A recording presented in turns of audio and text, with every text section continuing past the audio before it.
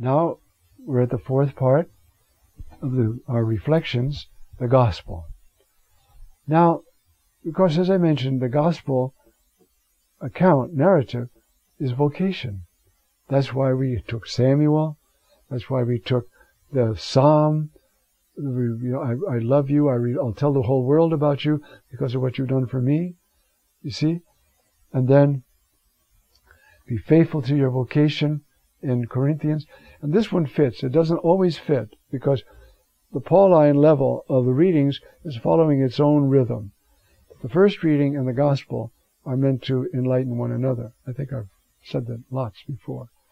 Okay. So, after the prologue in the Gospel of John, which ends at verse 18 of chapter 1, there is a whole series of uh, confrontations with John the Baptist in which he bears witness to Christ. And there are all sorts of titles given to the Lord in that period there. Um, you see, the um, and so then uh, he tells them the people who've come out from Jerusalem. You see, there's one you don't you won't you don't recognize, but I'm not worthy to untie the straps of his sandals. Now, this happened in Bethany across the Jordan where John was baptizing.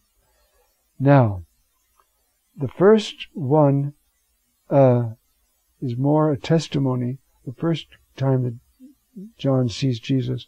The second one is the one we have for our text today. But I'm going to read a bit of the first one. The next day, by the way, next day, next day, next day is setting us up for something. And when we do the, the Cana, whenever we do that in, in this series here, we've already done it on that. Uh, I'll explain next days. Right now, just leave them. Behold the Lamb of God who takes away the sin of the world. So this is all now, you see, uh, John's witness from verse uh, uh, where we are now. Uh, you see, behold the Lamb of God. What's that mean? That the Paschal Lamb? What Lamb of God is this? This is John the mystic who's been instructed by the Holy Spirit, and he's pointing. That is the sacrificial victim who takes away, uh, you see, uh, the sin of the world is what he has already said. Um, but now he says, you see, again, uh, the sin of the world. He is the one of whom I said, A man coming after me who ranks ahead of me because he existed before me. He existed forever. And it goes on. Now, that's the uh, first time that John catches sight. One of the scholars, Michel de Goedt, a friend of mine, uh, wrote an article. He discovered that every time in the Gospel of John you have see, say, it's the declaration of a vocation. See, say. He's here declaring Jesus' vocation, you see? And you'll find others. He saw Nathanael and he said. And then at the cross, he saw the mother and he said. He saw the disciple and he said. And he declared their vocation. Behold your mother, behold your your son. Uh, very, very beautiful article, quoted by most people when they deal with this. Okay. The next day, that's our day now, 35. He was there again with two of his disciples, and he watched. Same word in Greek, huh? Uh, well, he, he, he uses another watch or look verb. Keteasamenos aftus.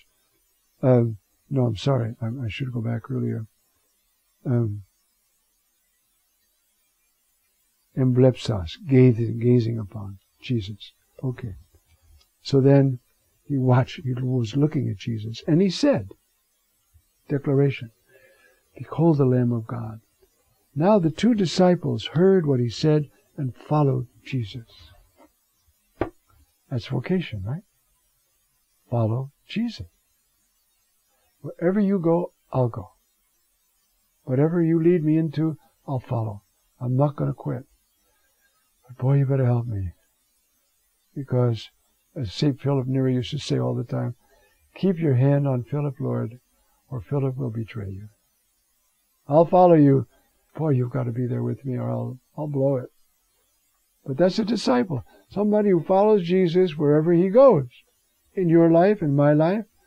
And to the cross, some act of love when we die. You know, I knew a man, a beautiful man, a Franciscan. I've mentioned him before.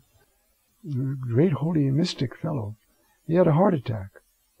And he recovered. Huh. What do you know? Just reminded me of myself when I said that. Uh, and he said, you know, when I was in this, you know, semi state, I wasn't praying. I wasn't doing anything. I was just sort of there. So I made up my mind when I'm dying, I'm going to be telling Jesus, I love you. So I practice every night as I'm going off to sleep. I say, Jesus, I love you. Jesus, I love you. So I'm practicing. So when I die, I'll say, Jesus, I love you. And he did. The last words from his lips were, Jesus, I love you. He followed Jesus. Okay. And he was a character, I think I've mentioned before. Uh, I can quote him because it's him, but um, even though I'm on the air, I guess. Anyway, because today, who would care? He said they they they made me. He was Irish. He made me the the, the provincial of the whole province in Australia. You know, he said, and I didn't give a damn if the whole back end dropped off the province. I don't care about that stuff. It's holiness that matters. Somebody has to run it, you know, get the dishes done, and but he wasn't the man for the job. so they turned and Jesus turned and saw them following him. You see, uh, you see, he, he gazed on them. There's another.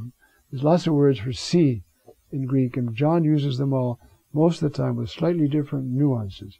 So gazing on them, following him, he said, Ti sitite, what are you looking for? They said back, because this is the challenge in a vocation, right? What are you looking for? You know, if you're looking for a, uh, well, suppose you want to be a priest. If you want to be up there being a big shot, you're in the wrong business. That's not a priest. A priest is supposed to be like Jesus. Anyway, so they said, Rabbi, which means teacher, where are you staying? And he said, Come. It's usually translated, Come and see. I guess they still do that. No, good for them. Come and you will see. If you come, you will see. So, uh, they stayed with him. They saw where he was staying, and they stayed with him that day. Now, it was about four in the afternoon. Andrew, the brother of Simon Peter, was one of those, one of the two who heard John and followed Jesus. So what did he do? He spread the good news. He went and found his own brother Simon and said, We have found the Messiah. It took just one morning. And these, they said, He's the Messiah. He's the one, you know, we're waiting for. There he is. Now you can see what a grace of the Holy Spirit was in them because they cut through. King on a big horse, coming to drive all the Romans out, big shot, whatever, you know? No. He's just beginning his own ministry. And they just stayed with him a day and they got it. There is the apologia for a life of faith, a life of prayer. Pray you know, actually, an hour of prayer a day is like minimal equipment for survival in the chaos we live in. But it's so hard for people to do. Get a half hour in the morning before you start the day. Pray for a half hour. One of these times I'll go through that again. But you remember the four parts. What do you do at Mass? Repent, read the Word, praise, and uh, pray for others. That's the first four things we do when we go to Mass. Then we start the rest, the offertory and the. So, when you wonder when you get to prayer, what am I supposed to do now? Well, you see, the first thing you do is, is these four things. You see, repent for your sins. This is not a gruesome thing. It's a gift. The Holy Spirit wants to free us of our sins. So he says, Look what you did. Oh, I repent. Done with. That's why he shows us our sin. He's not a tattletale. He's not a taskmaster. He's a lover. And then you read the Word of God. Get your Bible and read something. And say, Lord, talk to me. You know, I think I've said that when I was a professor up at Steubenville, I would tell the students, don't leave your prayer time till you've heard from the Lord. So they'd be praying away and they'd say to the Lord, Look, Lord, it's 722. I got a class in the other building at, I mean, 822. I got a class in the other building at 830. Please speak, because Father Francis is going to ask me what you told me. And I would. I wanted to get used to the idea that the Lord really speaks. So, uh, we found the Messiah, Messiah. And then they brought him to Jesus. Jesus looked at him. See it again? See, say. He looked. He said, You uh, are um, brought him. You are Simon, son of John. You will be called Cephas, which is the Aramaic for rock. So Petros in in Greek. Huh? You're going to be the rock.